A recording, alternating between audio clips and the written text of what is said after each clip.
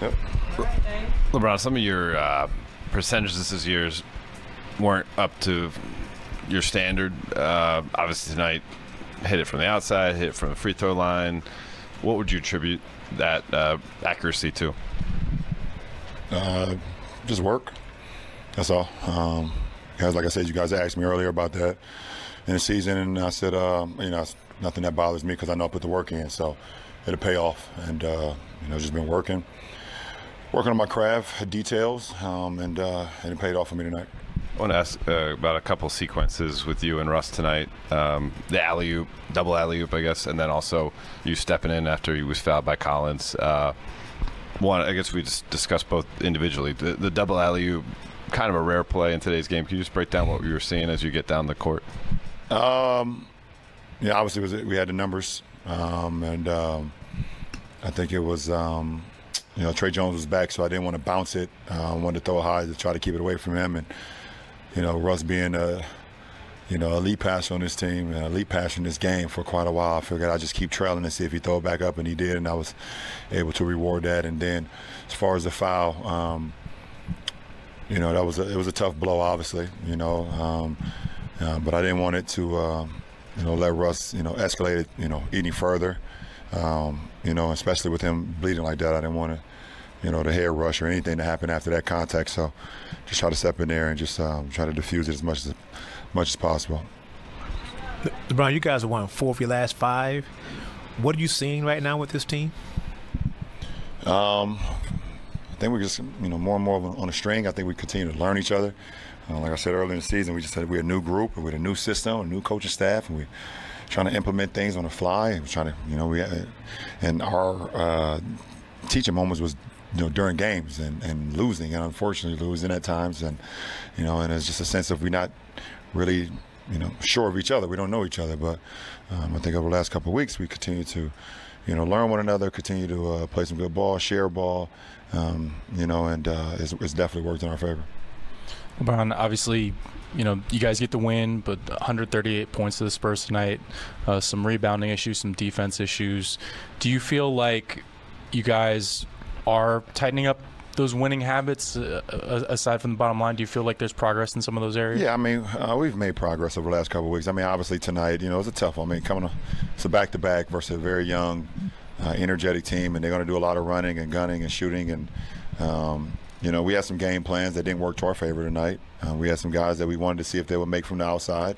They did, but that was part of the game plan, and you tip your hat to that. But well, things that we can control is controlling the 39 points in transition. We can get back, obviously, with that.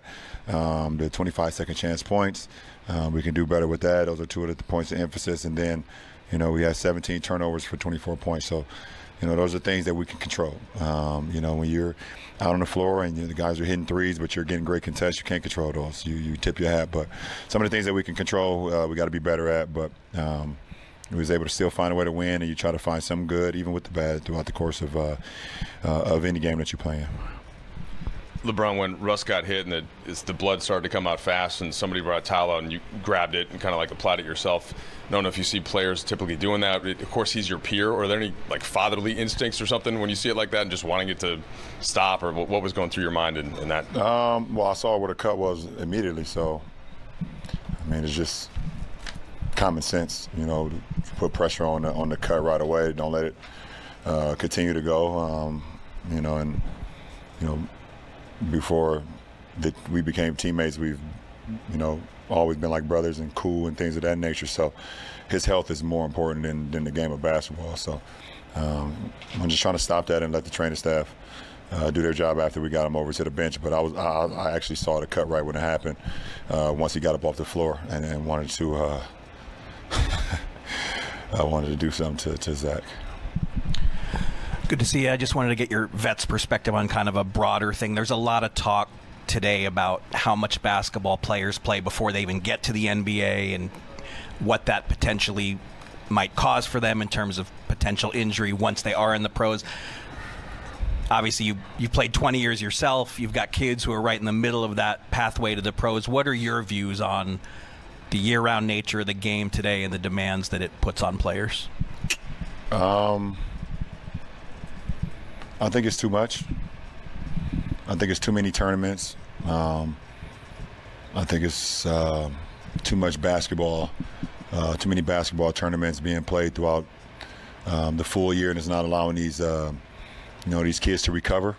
Um, they go from playing all summer to right into school league, and then all summer again right into school league, all summer right into school league for four years, and then they go off to college or go play wherever they go to play. And um, if they're fortunate enough to get to the NBA, there's a lot of basketball, a lot of miles being put on their bodies. Um, I've noticed it over the last few years, and um, having kids of my own, I've allowed them to not play in certain tournaments.